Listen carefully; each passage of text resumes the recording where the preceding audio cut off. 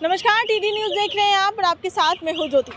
देखिए, भाजपा ने नीतीश कुमार को नसीहत दे डाली है। जी हाँ आपको बता दें कि भाजपा ने नीतीश कुमार को ये सलाह दी है कि उन्हें आगामी जो विपक्षी एकजुटता की बैठक जो मुंबई में होनी है, इसमें नीतीश कुमार को शिरकत नहीं करना चाहिए। इस मीटिंग में उन्हें शामिल नहीं होना चाहिए। जी हाँ आपको बता दें कि नरेंद्र मोदी के काफ़ी करीबी माने जाने वाले रामदास अटवाल ने नीतीश कुमार को यह नसीहत दी है और उन्होंने कहा है कि जिस तरीके से बेंगलुरु में हुई बैठक में नीतीश कुमार का अपमान हुआ था, उसके बाद नीतीश कुमार को मीटिंग में शामिल नहीं होना चाहिए। लेकिन वहीं आपको बता दें कि जिस तरीके से विपक्षी एकजुटता के जितने भी तमाम छब्बीस दल हैं, वो लगातार मीटिंग कर रहे हैं और ये अपना एजेंडा सेट कर रहे हैं कि किस तरीके से बीजेपी को जो है आगामी लोकसभा चुनाव में ज़ीरो पे आउट करना है, कैसे सत्ता से उन्हें बाहर करना है, इसकी तैयारियाँ जो है विपक्षियों की तरफ़ से लगातार की जा रही है। वहीं आपको बता दें कि अब भाजपा की तरफ़ से भी इस तैयारियों का जो है मुँह तोड़ जवाब दिया जा रहा है, लेकिन अभी रामदास अटवाल ने जिस तरीके के बयान दिए हैं और नीतीश कुमार को ये सलाह दी है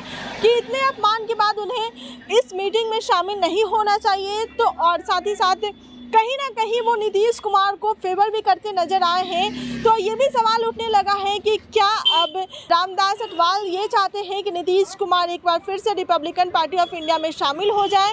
क्या एक बार फिर से उनके साथ जाने की कोशिश कर रहे हैं? पहले आप ये सुनिए कि रामदास अटवाल नीतीश कुमार को लेकर क्या कुछ बयान सामने रखे हैं। तो हमारे पास आते हैं तो यहाँ कोई ये नहीं है लेकिन हाँ। क्या क्या बोल नीतीश से मिलने के लिए बोल रहे जाइएगा। नीतीश कुमार। हाँ नीतीश जी हमारे अच्छे मित्र है मतलब मिलने में कोई दिक्कत तो नहीं है। लेकिन नहीं नीतीश जी के नहीं नहीं नीतीश जी एक सोशलिस्ट लीडर भी रहे हैं। नीतीश कुमार यहाँ आने के बाद बिहार का विकास करने में उनका बहुत बड़ा योगदान भी रहा है। अभी मैं कई साल पहले मैं इधर आया था तब यहाँ के रोड भी ठीक नहीं थे लेकिन मैं कल मुंगेर में गया था। नेशनल हाईवे भी अच्छा था, दूसरा सिंगल रोड भी बहुत अच्छा था तो इसी तरह अच्छे रोड भी बन रहे हैं। तो इसी तरह मतलब नीतीश जी को मिलने के लिए कोई दिक्कत नहीं है, लेकिन ऐसे टाइम पर मिलना ठीक नहीं है। नीतीश कुमार जी की सरकार है, इसीलिए मतलब ये राज्य को फ़ायदा नहीं देना है। ऐसी भूमिका हमारे नरेंद्र मोदी सरकार की नहीं है। नीतीश कुमार हमारे हैं, नीतीश कुमार कभी भी हमारे पास आ सकते हैं। और नीतीश कुमार मतलब पहले उधर से इधर आए थे, अब इधर से वहाँ चले गए हैं। लेकिन एक बात मैं उनका आभार व्यक्त करता हूँ कि जो बेंगलोर की मीटिंग में जो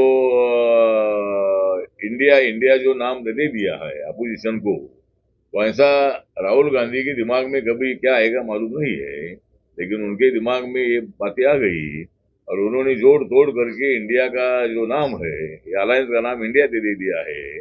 लेकिन उसको हम इंडिया तो नहीं बोलते, उसको हम बोलते I N D I A I N D I A और मैंने भी उसका डेफिनेशन किया है कि आई का मतलब इंट्रोडक्शन एन का मतलब निगेटिव इंट्रोडक्शन एन का मतलब निगेटिव डी का मतलब डेट और डी का मतलब हाँ। डी का मतलब डेट और आई का मतलब आइडिया और ए का मतलब अलायंस तो मतलब इसी तरह का जो ये आउटडेटेड अलायंस है तो इसीलिए जिस तरह मतलब वो इंडिया का नाम यूज़ कर रहे हैं। एक जमाना था कि India is Indira Indira is India इसी तरह की बातें की जाती थी। इंदिरा जी के बारे में हमको आदर है। उन्होंने देश के लिए सेक्रीफाइस किया है।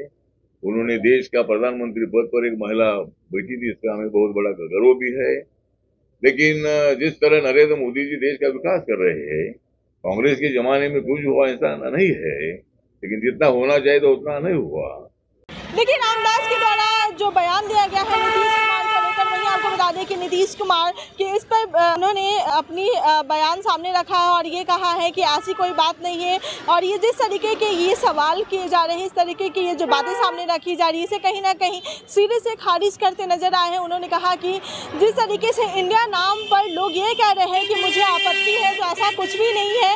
इंडिया नाम जो है, वो सर्वसम्मति से रखा गया है, लेकिन वहीं विपक्षियों का सीधे तौर पर यही कहना है कि नीतीश कुमार की कहीं ना कहीं इंडिया नाम, यानी विपक्षी दल का जो उन्होंने नाम रखा था, अब उसे बदलकर जो इंडिया नाम कर दिया गया है, उसमें कहीं ना कहीं नीतीश कुमार की खुशी नहीं थी, लेकिन उसके बावजूद भी सर्वसम्मति से ये नाम रखा गया है, लेकिन नीतीश कुमार ने उसे सीधे से खारिज किया है। लेकिन आपको बता दें कि ये अभी मुंबई में, हाल ही में उनकी मीटिंग होनी है और वो तैयारियाँ काफ़ी कर जोरों शोरों से कर रहे हैं। लेकिन रामदास अग्रवाल ने जिस तरीके के बयान दिए हैं, इसके बाद से सत्ता के गलियारों में ये सवाल उठने लगा है कि क्या नीतीश कुमार को अब एक बार फिर से भाजपा में जाने की कवायद करनी चाहिए। क्या नीतीश कुमार कमज़ोर होते नज़र आए हैं? कमज़ोर हो रहे हैं क्या? जिस तरीके से उनके वादे हैं, वो पूरे खोखले निकलेंगे। देखिए, ये तो वक्त आने पे ही पता चलेगा कि आखिर किसके वादे खोखले निकलते हैं। फ़िलहाल के लिए इस रिपोर्ट में बस इतना ही। बाकी के लेटेस्ट अपडेट के लिए बने रहे हमारे चैनल टीडी न्यूज़ के साथ।